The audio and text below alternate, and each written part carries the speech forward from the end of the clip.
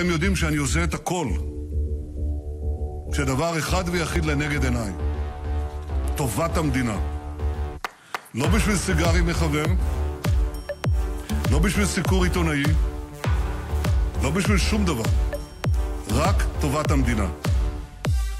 לא מדובר על אה, ראש ממשלה ששקוע עד צוואר בחקירות, ואין לו מנדט מוסרי וציבורי לקבוע דברים כל כך גורליים למדינת ישראל, כי קיים אה, חשש, אה, אני חייב להגיד אמיתי ולא בלתי מבוסס, שהוא יכריע הכרעות על בסיס האינטרס האישי של ההישרדות הפוליטית שלו ולא על בסיס האינטרס הלאומי.